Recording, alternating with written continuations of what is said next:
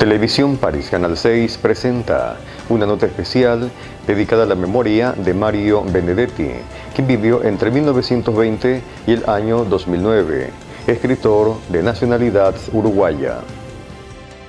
Mario Orlando Hardy Anlet Bregno Benedetti Farrugia nace en Paso de los Toros, septiembre 14 de 1920.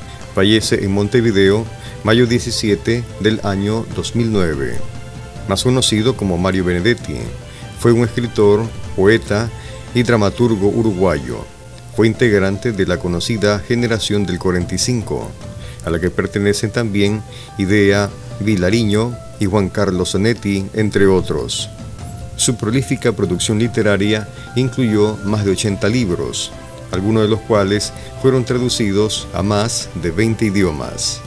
Fue hijo de Bregno Benedetti y Matilde Farrugia. Residió en Paso de los Toros junto a su familia durante los primeros dos años de su vida. La familia luego se trasladó a Tacuarembó por asuntos de negocios.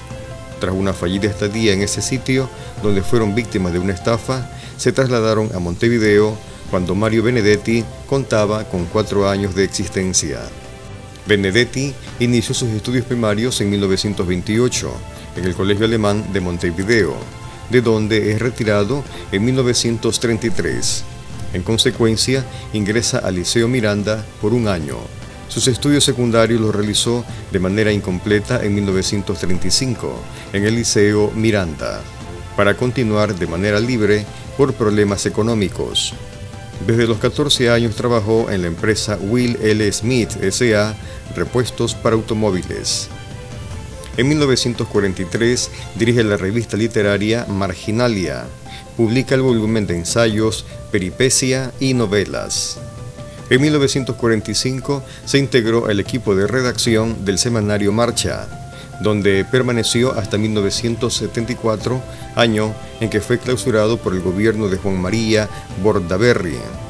En marzo 23 de 1946 contrajo matrimonio con Luz López Alegre, su gran amor y compañera de vida. En 1964 trabaja como crítico de teatro y codirector de la página literaria semanal Al pie de las letras del diario La Mañana. En 1984 Sergio Renán dirigió Gracias por el Fuego, un filme cuyo guion estaba basado en el cuento homónimo de Benedetti. En 1985, el cantautor Juan Manuel Serrat graba el disco El Sur también existe, sobre poemas de Benedetti, contando con su colaboración personal. En mayo de 1997 fue investido con el título de doctor honoris causa por la Universidad de Alicante, España y unos días más tarde, el 11 de junio, fue también investido por la Universidad de Valladolid.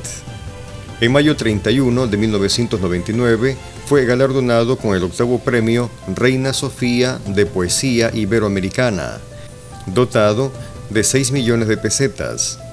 Mario Benedetti repartió su tiempo entre sus residencias de Uruguay y España, atendiendo a sus múltiples obligaciones y compromisos después del fallecimiento de su esposa Luz López en abril 13 del año 2006, víctima de la enfermedad de Alzheimer.